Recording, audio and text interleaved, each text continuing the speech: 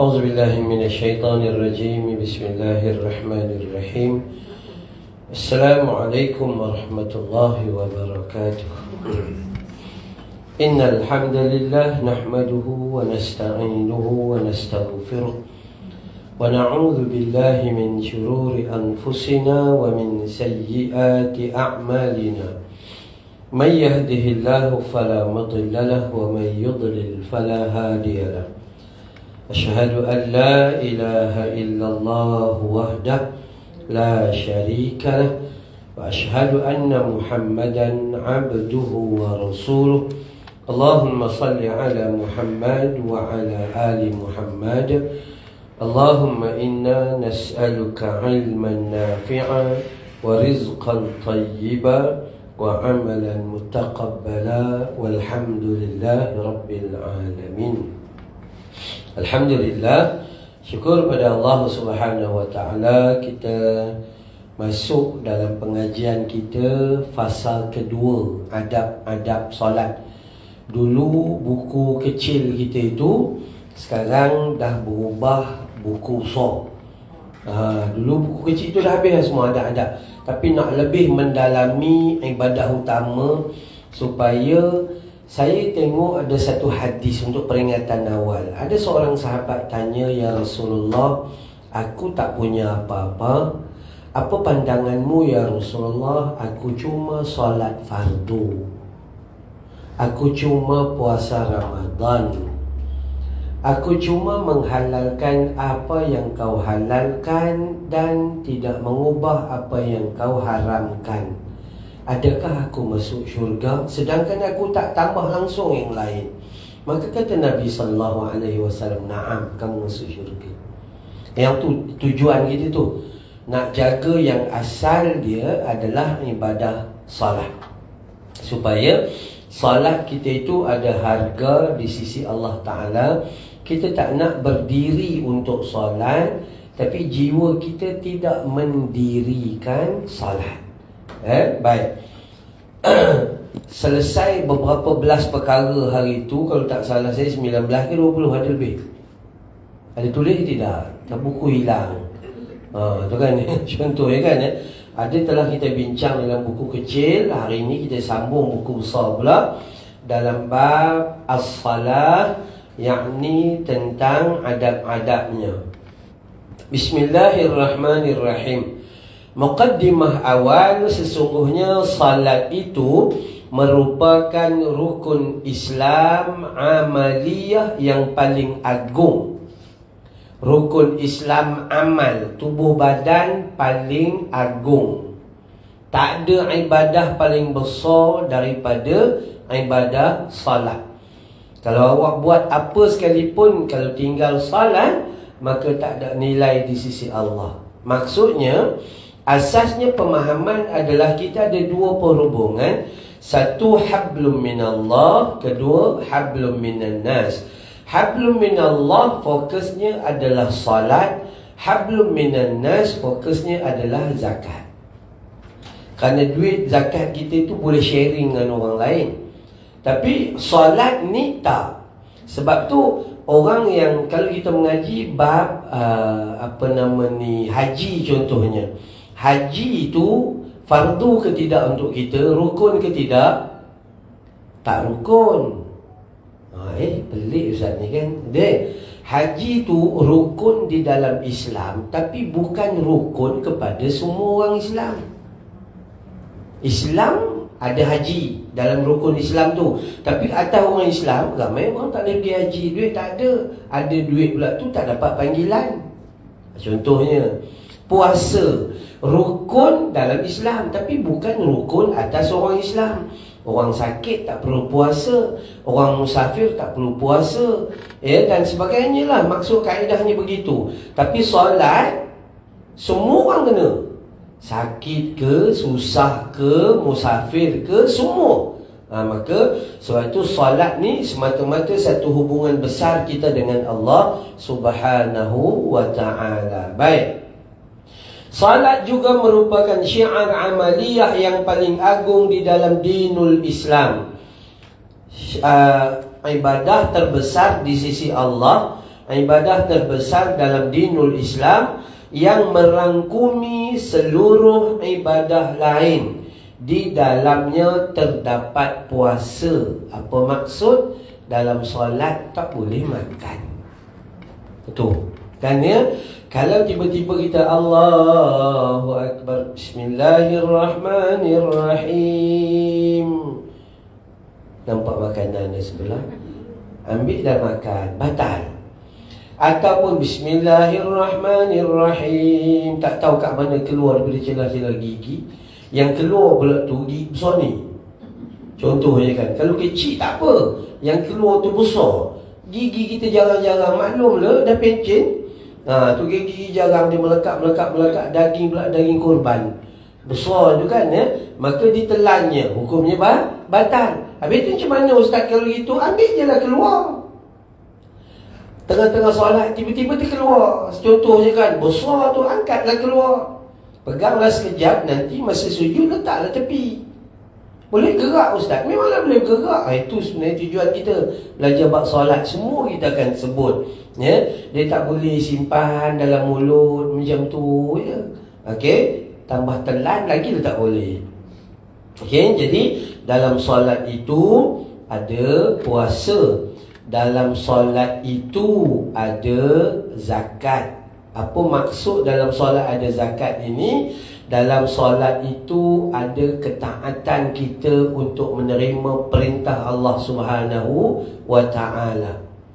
Sebab tu kalau kita ngaji Quran, aqimus solata wa tawaatuz zakat. Ha tu. Tanpa solat tak ada zakat. Kombinasi ratusan ayat. Kemudian dalam solat itu ada haji. Apa maksudnya? Sama juga ketaatan kita.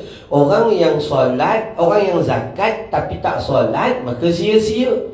Orang yang haji tapi tak solat juga sia-sia. Okey? Dalam solat ada jihad.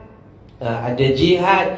Lima waktu satu hari satu waktu Kalau orang perempuan paling tidak dia kena ambil 10 minit Paling kurang lah Nak itu, nak ini, nak cuci Apa nama, make up Nak buang bedak kati kura Tu semua tu gini kan. Dia ambil masa lah sikit. Kemudian kami senang Kami tu senang. Jadi dalam tu ada jihad lah. Jihad, banyak masa kita berjihad situ. Kemudian dalam tu ada uh, Al-Quran Baca Al-Quran dekat mana ketika kita berdiri tegak Baca Al-Quran ni tak boleh dua waktu Dua tempat dalam solat Bila?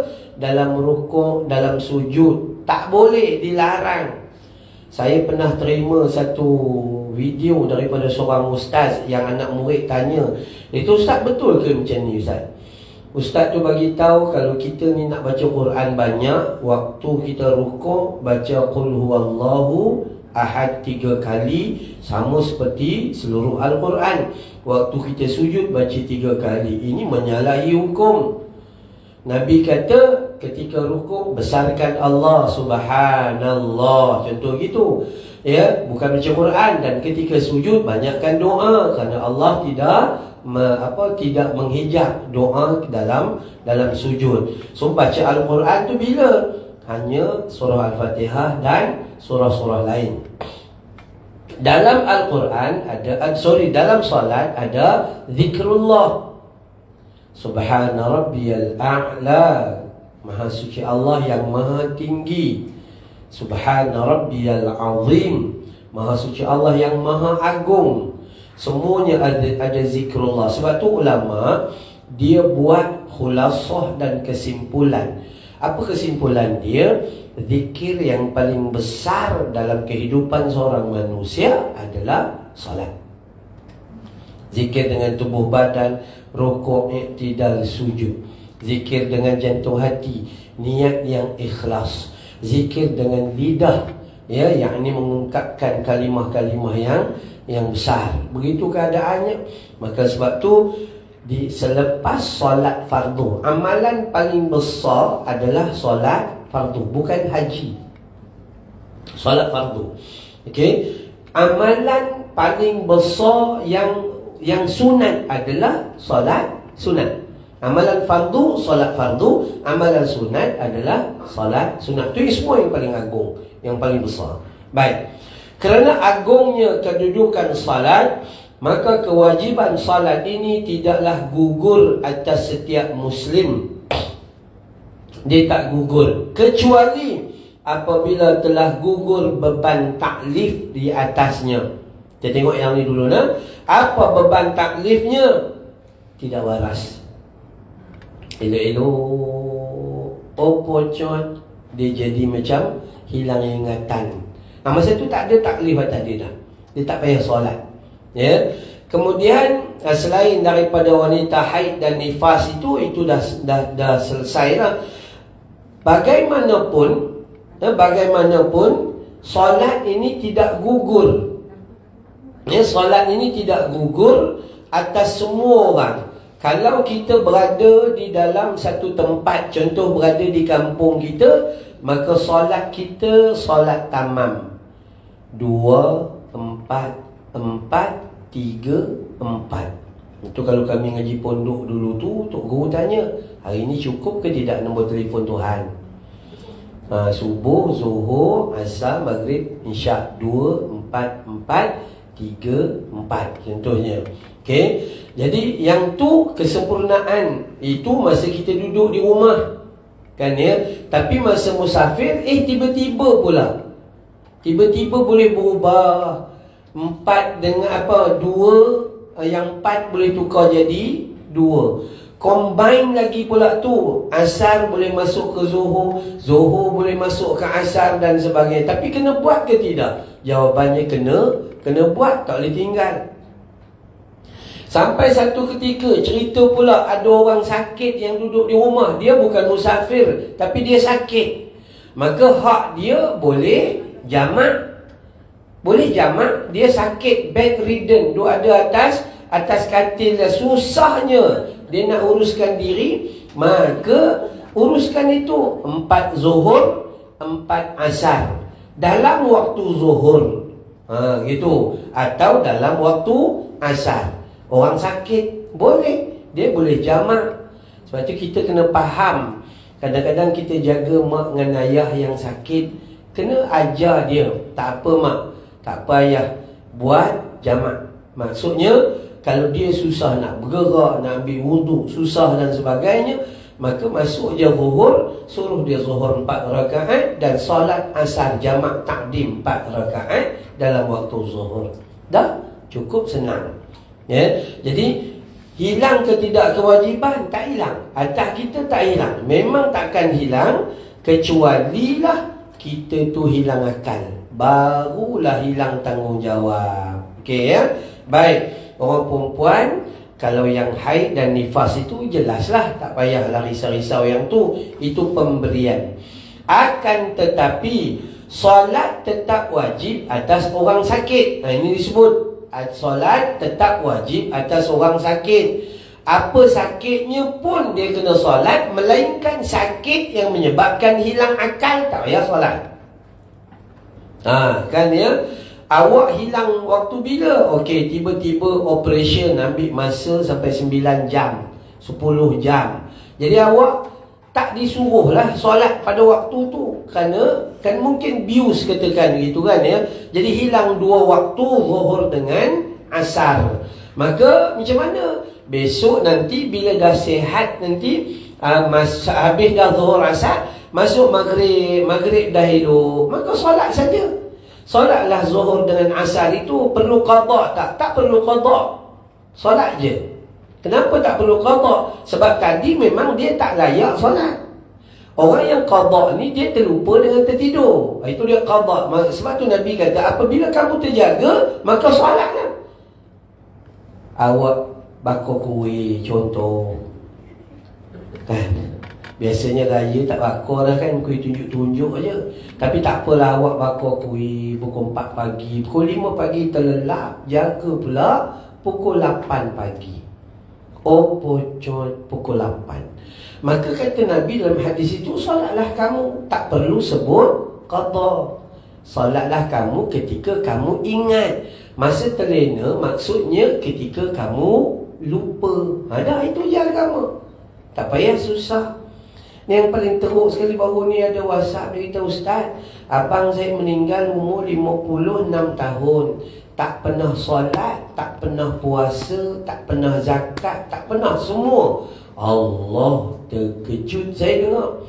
Jadi macam mana kami nak buat fidyah solat dia, fidyah puasa dia, fidyah zakat dia? Amboi.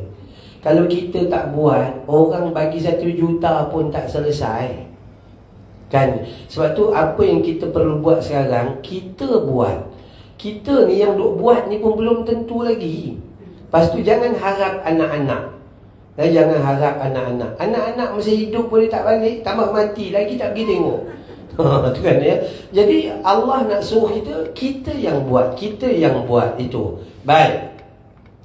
Dan kemudian salat itu tetap wajib atas orang sakit maupun orang sehat. Orang sehat tak boleh ambil tak boleh ambil cuti annual leave. Tak boleh, dia tak boleh ambil cuti apa kalau dia sehat itu. Orang miskin kena solat, orang kaya pun kena solat. Orang miskin solat kerana sedar dia seorang hamba, orang kaya solat juga kerana dia seorang hamba. Siapa nak masuk syurga kerana solat itu salah. Kenapa apa apa nama ni kena solat? Sebab awak tu hamba. Ikut je cakap tuan awak. Habis cerita. Kalau awak tak solat, awak sombong. Ha, itu je hakikatnya. Syurga dan neraka, itu ketetapan daripada Allah Ta'ala. Bila Allah kata, siapa-siapa yang menunaikan solat dengan ikhlas, maka kami janji syurga baginya. Ha, itu okey. Ya? Jadi kena faham situ. Orang takut kena solat, orang yang aman pun kena solat. Tambah, kita kat sini Alhamdulillah aman datang kuliah sekarang di Palestin tak ada kuliah. Kan? Tak ada kuliah. Kita lepas kuliah ada minum. Tu iya ada minum. Palestin tak ada kuliah. Palestin solat jemaah pun susah sekarang huru hara kan ya? Solat jemaah di tengah-tengah tepi padang aja begitu. Maka mereka pada hakikatnya waktu ini mereka sudah boleh menggunakan kaedah daruriyah atau darurat dengan sapu khuf. Ha, dia boleh guna untuk tiga hari, kita tak boleh. Kan ya? Jadi mereka sampai kepada darurat itu mereka dah boleh guna solat kasar sepanjang kedudukan. Ha, sepanjang masa boleh dua dua dua buat begitu je pun ada. Tapi kita alhamdulillah ya dalam keadaan yang aman tapi tetap kena melakukannya. Jangan jadi perangai manusia yang ingat Tuhan masa tak ada duit je. Masa susah, bergaduh laki bini, bukan main solat tahajud. Besok dah dua-dua elok-elok, dua-dua terkejut. Hmm, dia lain, memang lain kan. Masa senang tak ingat Tuhan Masa susah ya Allah Salat duha 28 rakaat Tu tanda duit tak ada sangat dah tu. Besok dah ada Dua rakaat pun tak buat. Minta maaf Saya suka menggunakan bahasa mudah Untuk kita faham. Sifat manusia memang macam tu. Ni masa ada masalah ni Angkat tangan doa sampai begini Begini angkat Dia kangkang ni sampai begini angkat. Masa dia dah elok Masa dia elok ni Tak kita apa ya Tu imam baca dia letak ini. Amin. Amin Sambil tengok ini Amin Macam tak nak je ha, Itu sifat manusia Eh, jom kita belajar elok ya. Baik, kalaulah orang Islam menempatkan salat itu sesuai dengan tempatnya dengan melaksanakan hak-hak salat yang wajib, tentunya salat itu merupakan paling agung untuk meluruskan kebengkokan hidup mereka. Kalau kita jaga solat dengan sempurna Belakangkan sekejap solat sunat. Terus solat fardu je. Pertama, letak solat fardu kena pada tempatnya. Kalau subuh, jangan kau buat dalam waktu zuhur. Kan dalam zuhur, jangan mudah terkeluar zuhur baru nak buat Dia tak bukan. Dalam waktunya. Sebab tu bila kita baca Ara'aital ladhi yukallibu biddin Fadhalikal ladhi yadu'ul yatim ولا يهض على طعام المسكين Fawailul lil musallin alladhina hum an salatihim sahun neraka wailah ataupun lembah wail dalam neraka bagi orang yang solat siapa mereka itu orang yang lalai daripada solat mereka bukan orang yang lalai di dalam solat mereka alladhina hum an salat ain dengan nun. Kan? Bukan alladhina hum fi salat bukan di dalam solat. Dalam solat memang kita kurang khusyuk. Allahu akbar. Hari ini ada mesyuarat. Ha tu. Memang tak khusyuk kan ya? Tapi an solat tu maksudnya apa? Dalam waktu dia dia tak pergi lagi. Dia tangguh lagi dia tangguh lagi dia tangguh lagi. Siapa yang jatuh neraka wail ni bila keluar waktu Habis dah zuhur Dah masuk asar Baru dia solat zuhur Itu neraka wain Hmm, tu kena faham Allah tidak zalim Ya, sebab tu solat itu dia ada waktunya. Dalam solat selagi awak solat di dalam waktunya, maka awak tak berdosa. Sebab tu kita dibenarkan untuk menangguh tengah-tengah kuliah. Allahu Akbar, Allahu Akbar. Boleh tangguh. Kerana Aisyah itu Bermula daripada 8.45 contohnya Sehinggalah sebelum Subuh. Ha, Boleh. Tak ada masalah. Tapi kita tangguh itu Kerana urusan-urusan yang Manfaat. Itu sebenarnya. Jadi jangan kata jatuh berdosa. Tak, bukan begitu. Okey? Dan seterusnya Menunaikan hak-hak salat Hak-hak solat ni syarat dia yang kita belajar. Yang pertama mesti ada wuduk Tu hak dia. Kalau tak ada wuduk tak boleh. Kena ganti dengan tayamum Kalau tak ada tayamum pun tak boleh. Okey Hak-hak dia apa? Hak dia adalah kena tutup aurat. Tutup aurat daripada mula solat Sampai habis solat. Dia tak boleh tengah-tengah solat pergi buka. Batal Hak-hak solat itu ngadap ke arah kiblat. Dia tak boleh ngadap separuh satu rakaat, pandanglah sana pula satu rakaat. Ha, itu hak kena buat hak dia. Hak-hak dia adalah dibaca Al-Quran dengan baik di dalamnya.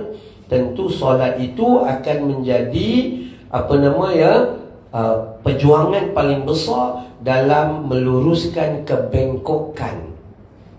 Maksudnya kita kan gini jalan konak jalan kona.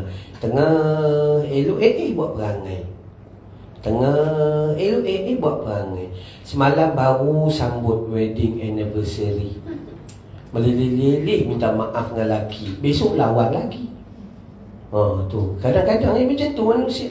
Kan ya okey baik.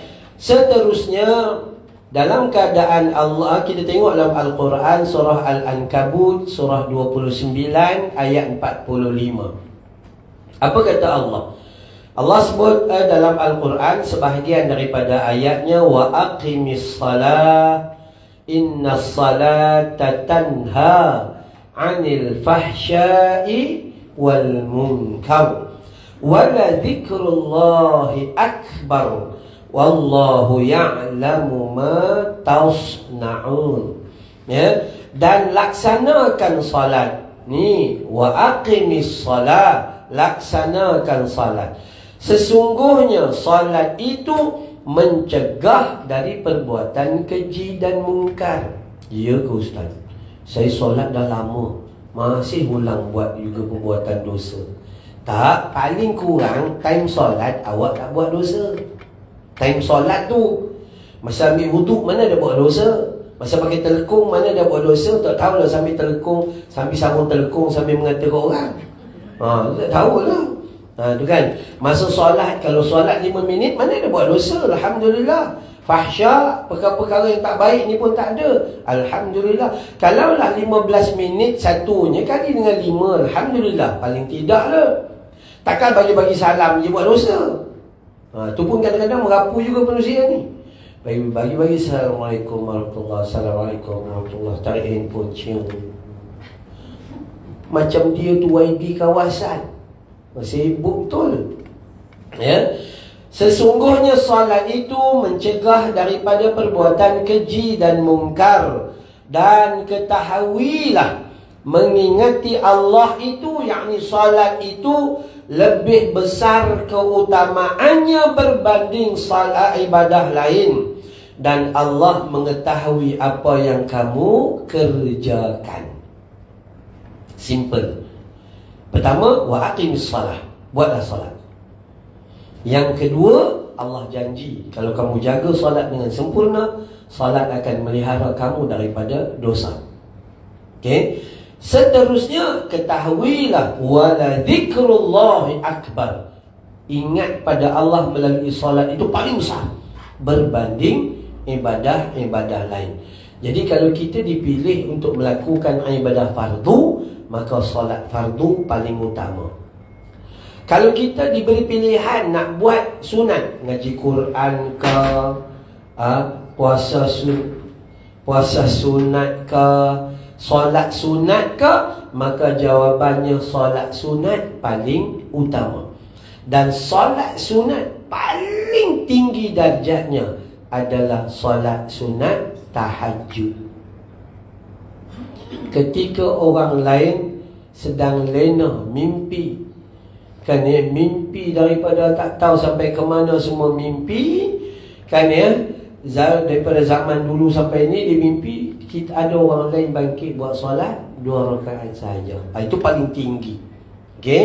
Jadi ini nilaian yang Allah Taala sebut kepada kita dan sebab dan inti kekurangan yang menjadi bahawasanya mayoritas atau majoriti orang-orang yang solat hanya menjadikan sebagai gerakan lahiriah jauh daripada isinya. Tu.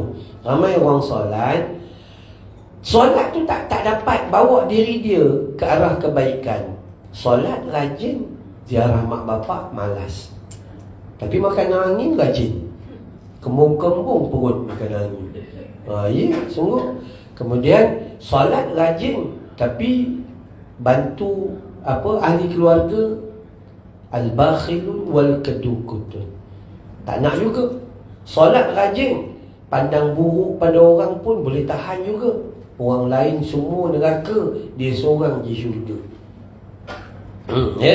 Jadi bahayalah Kenapa? Sebab manusia meletakkan solat itu Hanya mendirikan tubuh badannya saja Tapi hatinya tak Sebab tu kalau kita belajar sunnah Nabi Inilah ciri-ciri dia Ciri-ciri yang kita akan belajar ni Adalah meletakkan bahawa Orang yang nak solat Yang pertama sekali Dia tak boleh hidup dalam suasana yang penat Sebab bukan penat apa, penat dengan kelalaian.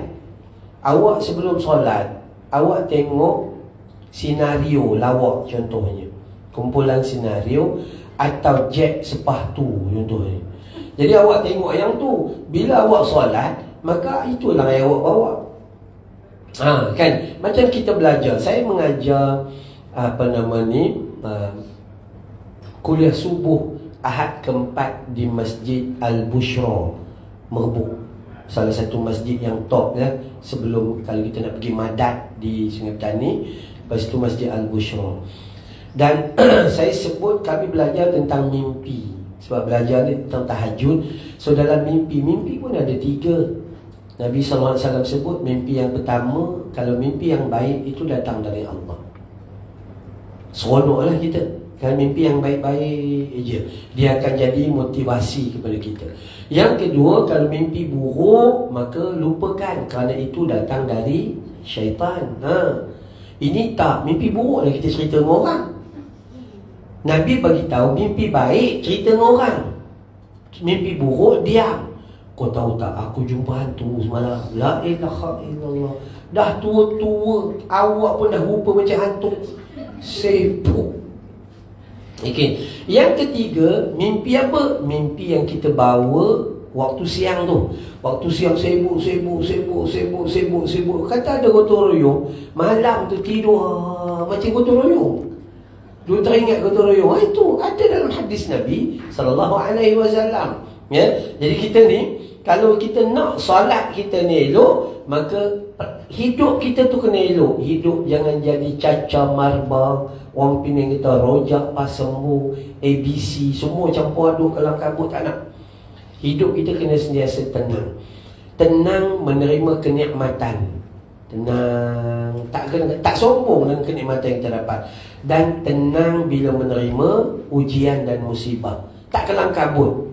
Ha, Tak terus tiba-tiba je. Terus ha, masuk beritahu saya diuji Saya diuji, saya diuji. Rupa-rupanya ujian dia Orang cuma curi tayar kereta di sebiji je Bukan curi kereta dia. Itu ya. Baik dan seterusnya. Bahkan ada yang mengabaikan semua yang berkaitan dengan salat Atau menjadikan salat hanya sebagai adat kebiasaan Ada orang adat Bila adatnya?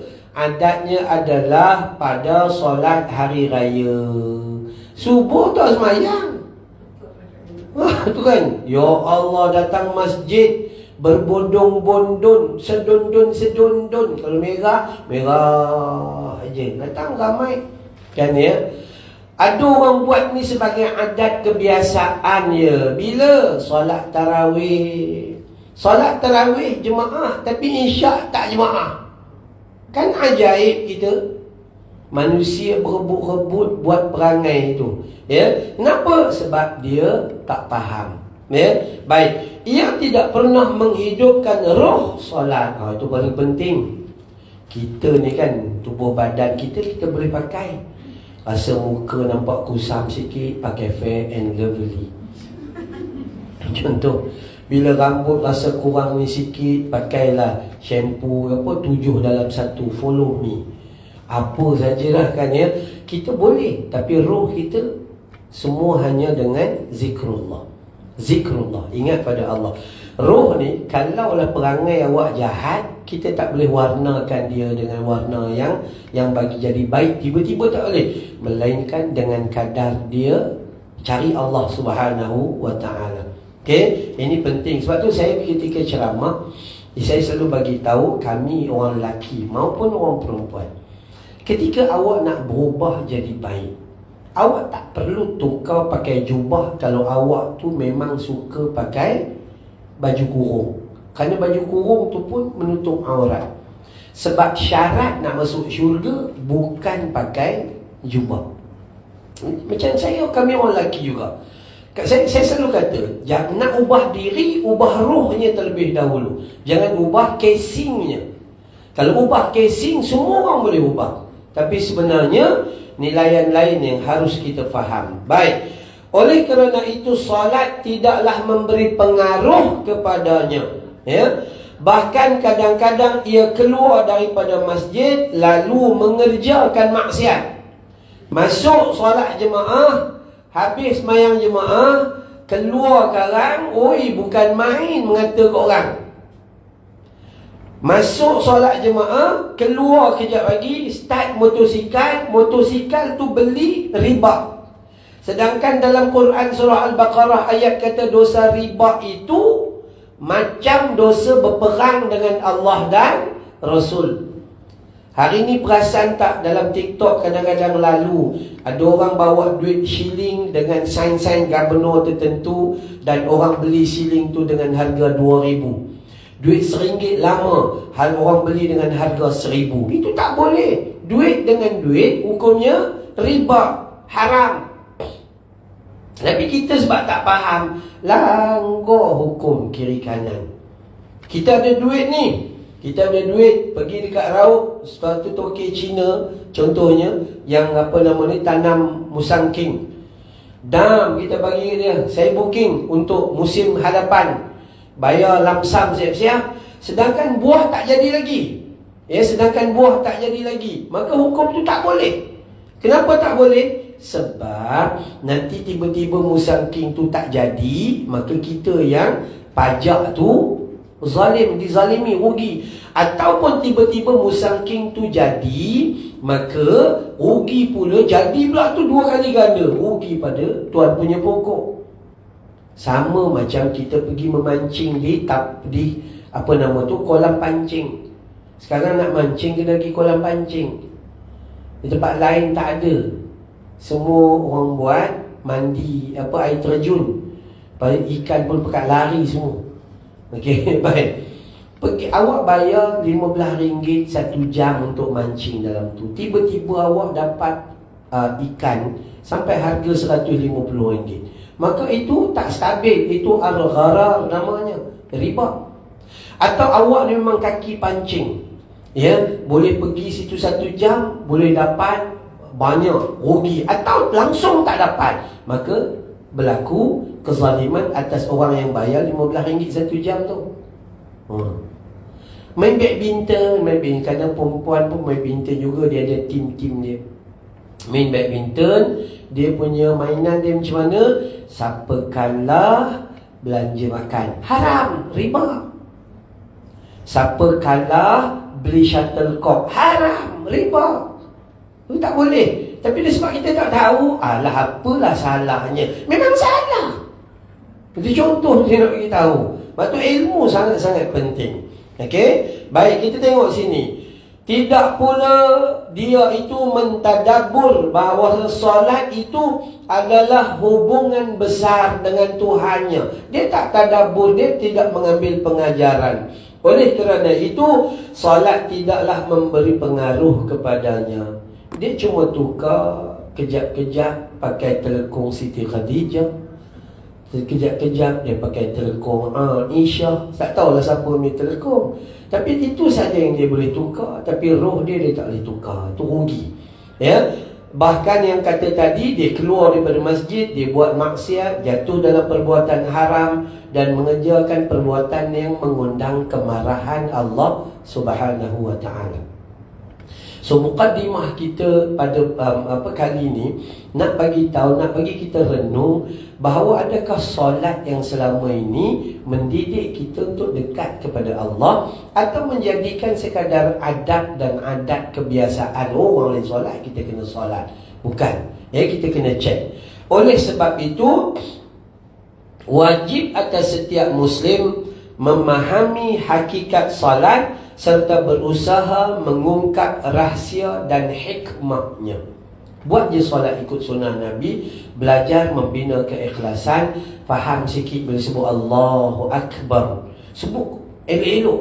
Allah Allah Mendengung-dengung bunyi.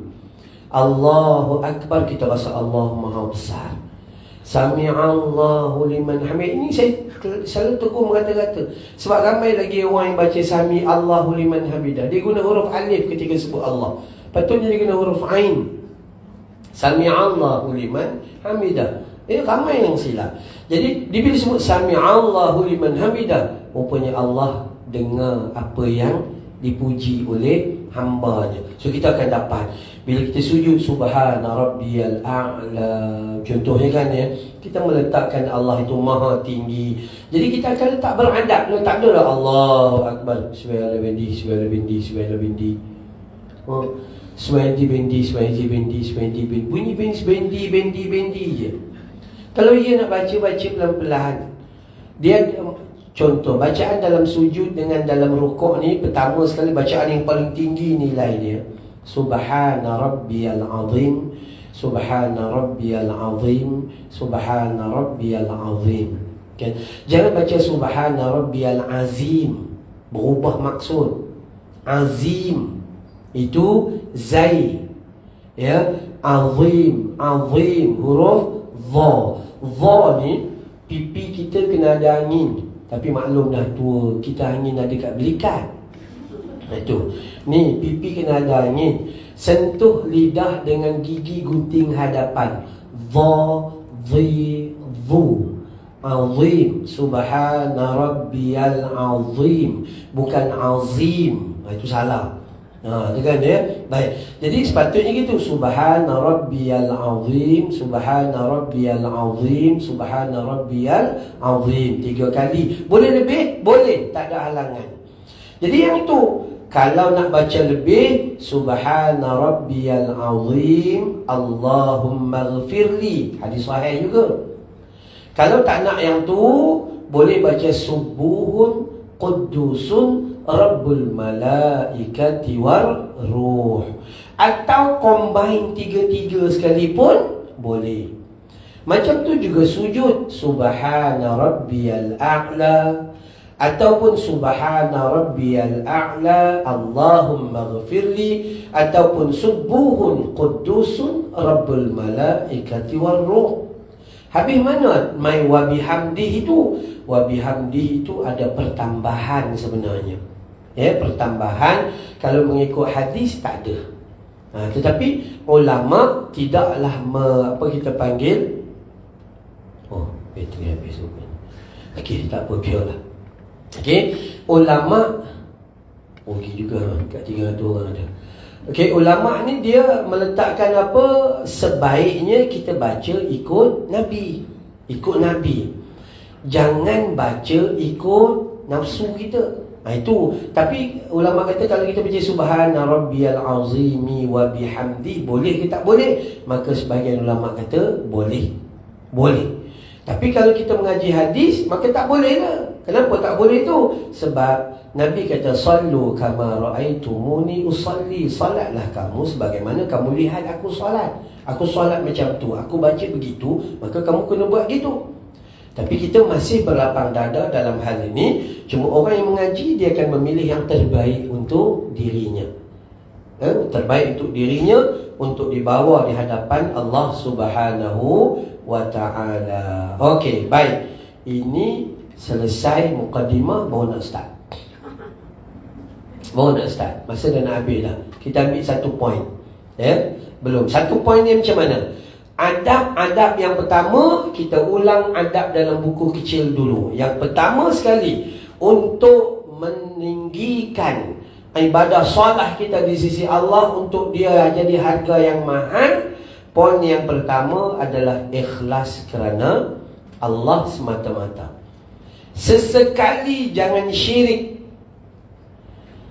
Men, apa dalam Al-Quran surah uh, atau sorry surah Al-Kahfi surah 18 ayat 110 kan? Fal ya'mal amilan salihan wala yushrik bi ibadati rabbih ahada. Apabila kamu buat beramal soleh itu Maka hendaklah kamu buat itu kerana Allah Jangan kamu syirikkan Allah Itu dalam amal kamu Rupanya dalam solat Kita boleh berlaku syirik Dalam amalan kita Solat ni Allahu Akbar Biar dia orang tahu Aku ni ngapal Quran 60 juzuk bukan 30 Mana datang tak tahu lagi Ha, tu kan? Biar dia orang tahu aku ahli lagu. Habis.